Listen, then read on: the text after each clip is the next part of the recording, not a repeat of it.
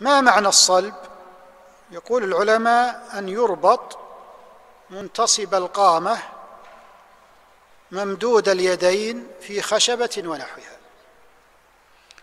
وهذا الصلب له حكمة ومن حكمه الردع والزجر. فإن رؤية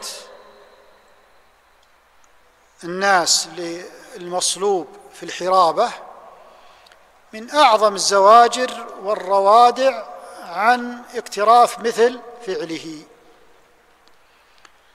فيقتل ثم يصلب. ردعا وزجرا.